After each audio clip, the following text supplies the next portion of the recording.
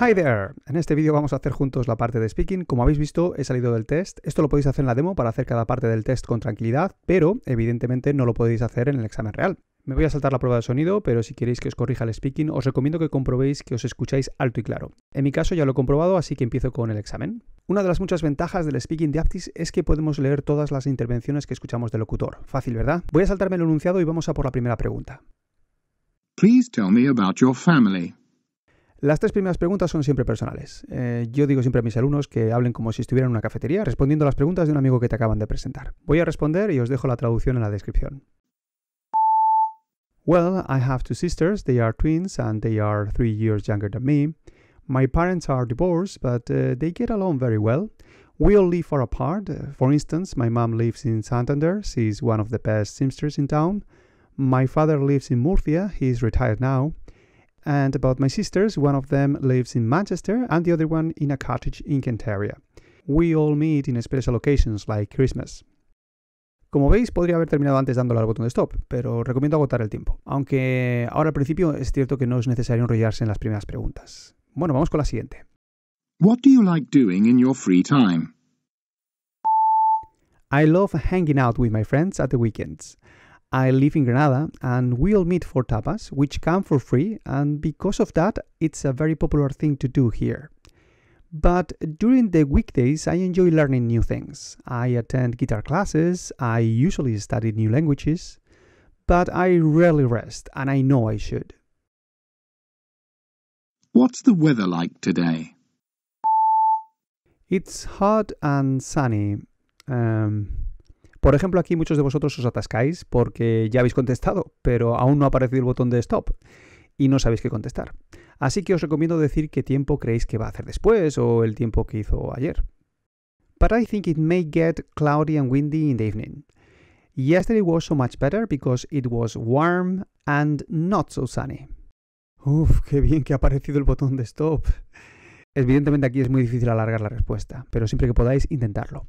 ¿Qué habríais contestado vosotros? Dejadlo en un comentario y os doy mi opinión. En este punto, si estáis haciendo el test con más candidatos y aún no han terminado, tendríais que esperar para empezar todos juntos la siguiente parte. La descripción de una foto. Atentos aquí porque es muy fácil, pero muchos no cumplís con los requisitos mínimos. Deberíamos indicar quién está en la foto, qué hace, dónde están, qué llevan puesto, cómo se encuentran o qué te hacen sentir y ya para nota, suposiciones. Voy con la descripción. Describe this picture. In this photograph, I can see a girl. I think she's a teenager and she's studying or she's attending an online class because I can see a big screen on her desk, but she's not looking at it. Maybe she's listening to somebody on her headphones because she seems very concentrated. She's probably at her home because the room doesn't look like a classroom, but I don't really see anything on the walls. She's wearing a white hoodie or jumper and there is a white and black sports jacket on her chair, so I guess it might be autumn or winter. Como ves, me queda tiempo para hablar de más cosas. Podría haber eh, hablado de su pelo, su color de piel o lo que hay encima de la mesa. Pero si crees que has completado los seis puntos, no te compliques eh, podemos hacer clic en Stop y pasar a las preguntas relacionadas con la foto. Por cierto, os dejo por aquí un enlace de unos cuantos ejemplos de descripciones de fotos de exámenes reales, también del Speaking de Cambridge, que en realidad es igual. La única diferencia está solo en el tiempo. Aquí nos dan 45 segundos y en el PET de Cambridge nos dan minuto y medio. Pero como ejemplo seguro que os va a ayudar. Vamos a por la pregunta. Do you think laptops and tablets are good for children? Those portable devices are not my cup of tea, but I understand nowadays kids need to get used to managing them because, to my mind, we will all need to deal with those devices in the school, at work, or at home. To be honest, I don't understand why there isn't already a subject in the school fully based on coding or programming as important as mathematics or science. Podría seguir hablando de la parte negativa, como el tiempo excesivo que se suele usar en Internet, pero yo creo que con esta respuesta he superado con creces los niveles de B1 que nos exigen en esta parte del test. Igual me he pasado un poco con el nivel porque he usado alguna expresión, pero siempre recomiendo usarlas. Os dejo aquí un enlace con un montón de expresiones y cómo usarlas con ejemplos que seguro que os van a ayudar. La siguiente pregunta os la dejo contestar a vosotros. What did you use your computer for? Dejad vuestras respuestas en los comentarios y vamos a por la tercera parte comparar dos fotos. Aquí falláis prácticamente todos. porque después de escuchar al locutor pediros que comparéis, In this part, I'm going to ask you to compare two pictures. justo después os dice, Tell me what you see in the two pictures. y yo creo que eso es lo que hace que os pongáis a describir las fotos como hicisteis en la primera foto y se os olvida lo más importante, comparar. Voy a hacerlo yo ahora para que os hagáis una idea. In the first picture, I see a reporter with some staff, and in the second photograph, I see a completely different job a teacher who is teaching some children.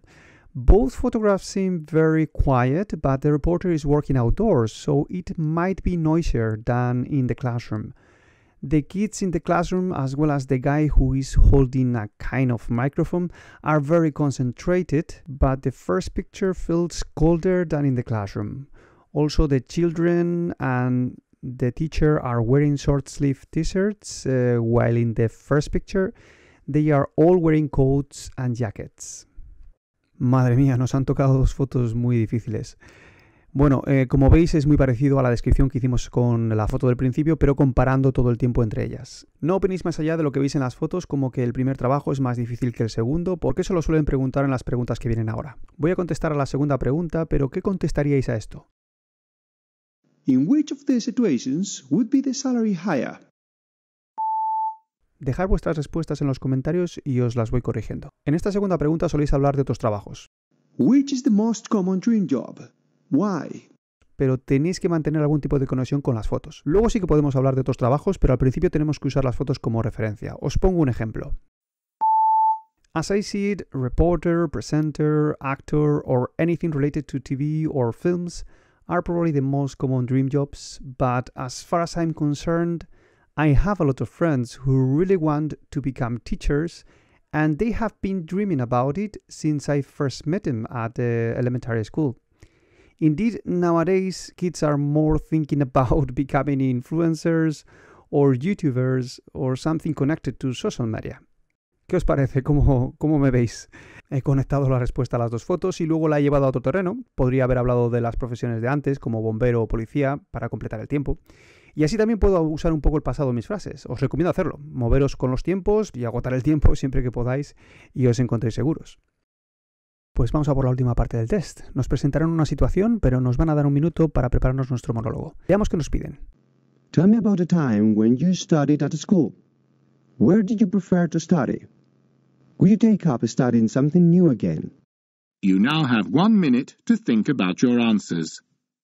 You can make notes if you wish. En cualquier momento del test podéis hacer todas las anotaciones que queráis. Aquí nos van a venir genial para organizar nuestro monólogo. Primero olvidaros de la foto, aquí no hay que describir nada ni conectar nuestra historia a esa foto. Lo único que tenemos que hacer es asegurarnos que completamos las tres cuestiones que siempre nos piden en esta parte final. Tenemos que usar todo lo que sepamos. Frases básicas, alguna continua, una o dos pasivas, al menos una segunda condicional con la excepción del verbo be, una tercera condicional, mezclar en una o más frases todas estas estructuras, usar expresiones, muchos conectores diferentes, adverbios en diferentes posiciones y excepciones. No os asustéis que seguro que podéis hacer bien al menos el 80% de esta lista.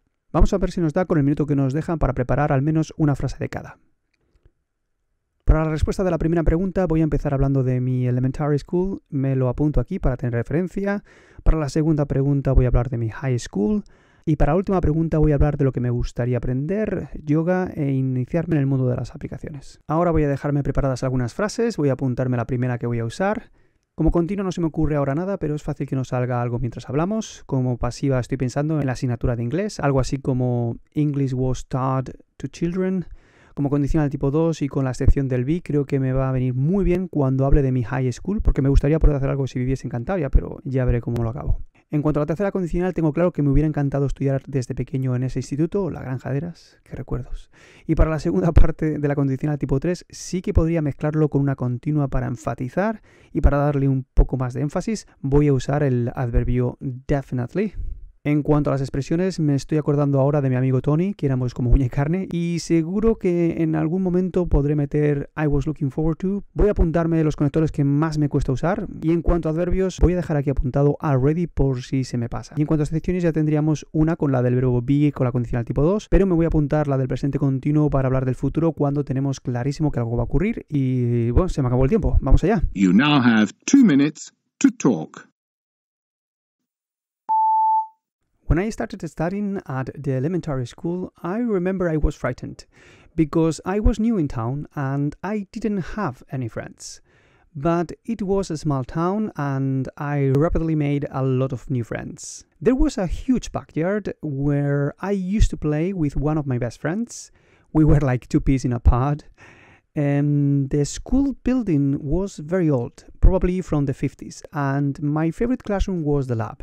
I was always looking forward to entering that room but I hated the English classroom. Mm, by that time, English had already been taught to children, and I was terrible at it. Maybe that's why I didn't like it. Nevertheless, I loved my elementary school. And uh, although if I had been able to study elementary at my high school too, I would definitely have been loving it. The building had been used as a farm and it was fully renovated but keeping the weird organization and the shape of each room. It was one of a kind, I have to say. I now live far away from it, but if I were there, I would try to work uh, not exactly as a teacher, but I would try to arrange some workshops. Nowadays, I keep studying and trying new things. For instance, I'm starting yoga and meditation next week. And besides, I'm thinking of taking up APP's development as well, since I feel a bit outdated when it comes to technology. Aunque yo he acabado antes de tiempo, aquí sí vosotros tenéis que hacer lo posible por agotarlo. ¿Cómo continuaréis con el tiempo que os queda? Lo he dejado ya en futuro. A todos se nos da muy bien este tiempo, ¿verdad? Bueno, ahora vamos a ir a por el reading o el writing, pero eso te lo cuento mejor en el siguiente vídeo. Así que estad atentos y os dejo practicando. ¡Cheers!